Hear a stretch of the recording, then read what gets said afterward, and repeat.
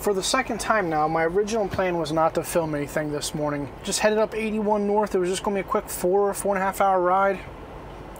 Hit major traffic once I got into Pennsylvania. 81 northbound shut down, so they had all of us getting off on the exit.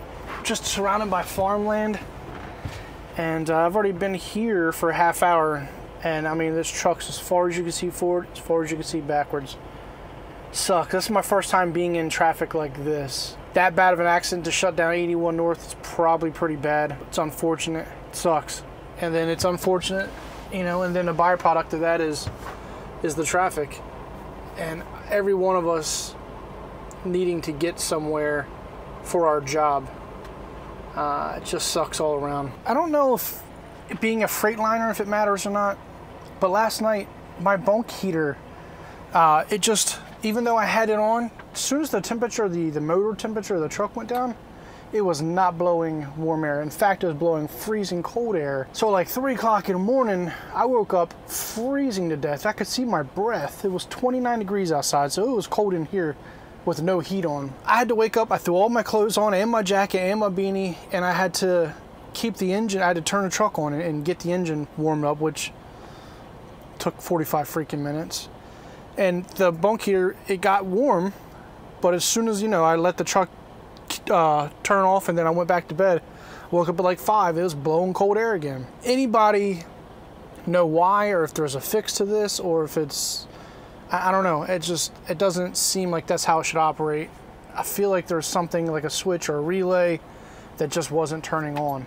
Air conditioning works great. When the motor is warm the heat works great on it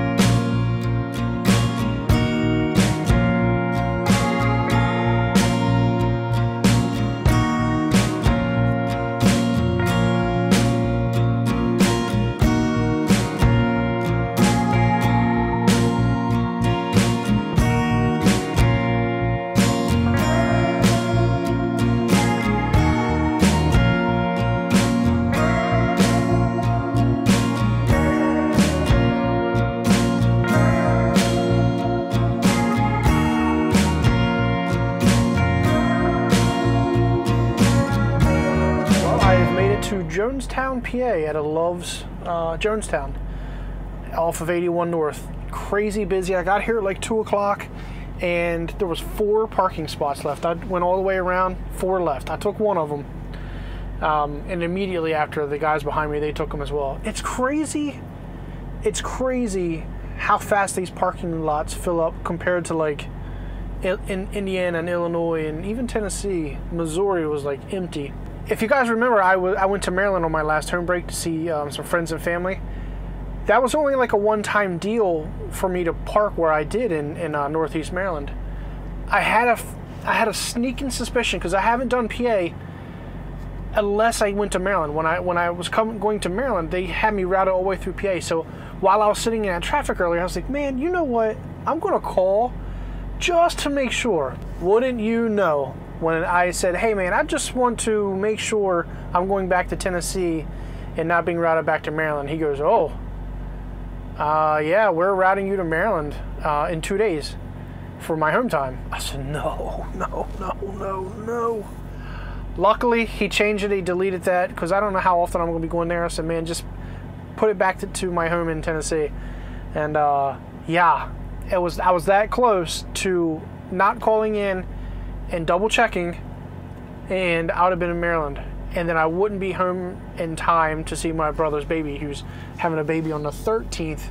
Um, hopefully, holds out to the 14th. I did get another load 30 minutes after that, so it's a good freaking thing I called. So I'm delivering this load tomorrow at uh, 9 a.m. to that Qual Qualflex Goodman in uh, Pittstown, and then I'm heading over about three hours, give or take. It's like 140 some miles to Volkswagen of America in Cranbury, New Jersey.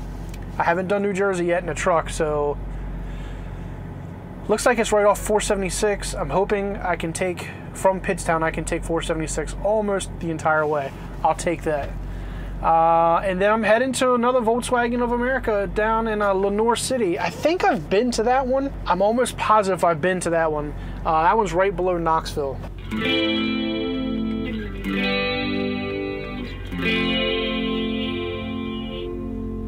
They say that the water's freezing. So I walked on down to the riverbank. They say that the current will pull you in. So I jumped on it to let my body sink.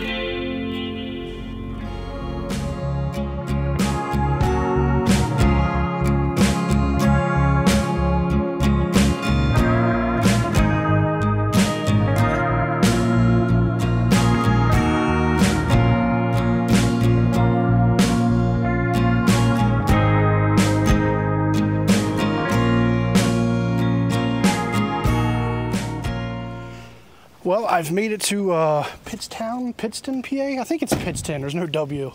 Look at the backdrop in this place. Look at this. What? Can you hear all the ice? So this place is pretty cool.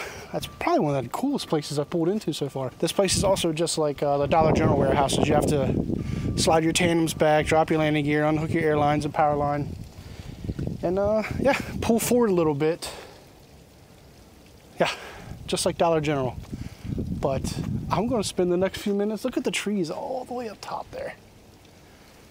This is awesome. You can see the different color and different. I think I, I assume that's different stone. Yeah, man, that's awesome. Nice, easy drive this morning. Nothing special. No traffic. I'm gonna make some breakfast. So I have some sausage in the microwave, sausage links, and I have, uh, I'm gonna try this out. You still can't find sriracha hot sauce, but they had this for like a dollar at Walmart. Nah, we'll try it. Some, uh, I, swear it's jalapeno, but it may be cheddar jack cheese, and uh, some hard-boiled eggs. What I'm also doing right now, getting my crock pot ready. This is like a, uh, every week I come out, I get one of these. Slow roasted, blah, blah, blah golden rotisserie flavor. Dude, look. Not even five bucks. This thing's a pound. It'll roast the rest of the day. Truck will be smelling freaking awesome. And uh, that'll be dinner. Four bucks, dude. Come on. And I got some sides. I'm probably going to do rice. I think I usually do rice with these pork loins. But man, after sitting in the crock pot all day, it just falls apart. It's so good and it's so cheap of a good dinner. All right, my sausage links are ready. Dude, it looks I know it looks gross. It totally looks like the thing that come out of the guy's stomach in Aliens 1. You know, the blah, blah, freaks everybody out, freaked the entire cast out. I believe that was a uh, a trick. Who was that? James Cameron? No. Ridley Scott, I think. Yeah. Nobody knew about it on the cast. Look at that thing. Totally looks like it. But when it's done, my mouth's watering right now. Oh, man.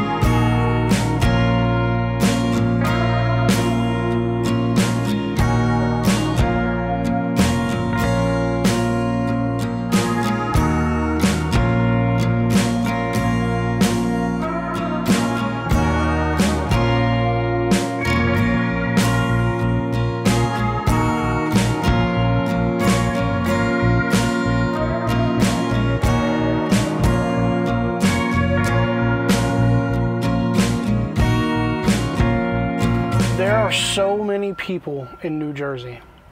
That wasn't fun. That wasn't a fun ride at all. There were so many people on 295. Uh, I've made it over the Delaware Memorial Bridge, and there's a. am uh, in Elkton, Maryland. My, this is where I grew up. Uh, there's a pilot right by a blue beacon, and I pulled in there. You know, it's it's six o'clock.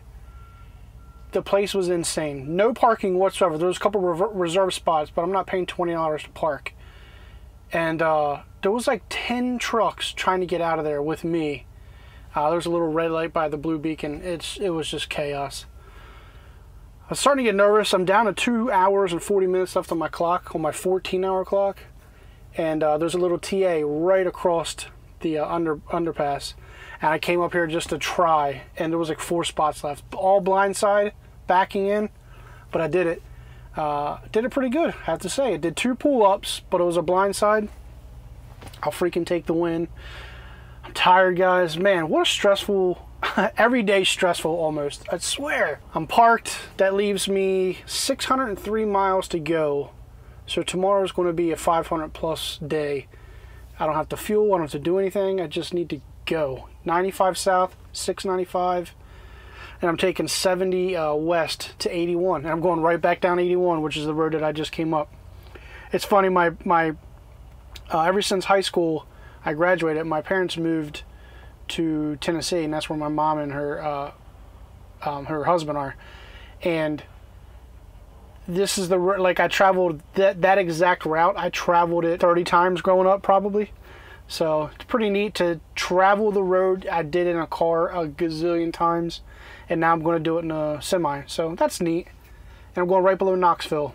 Also, I'd like to thank you for joining me. I have now crossed 100 subscribers. I don't think I've been uploading for a month, so 100 subscribers in a month. Woo!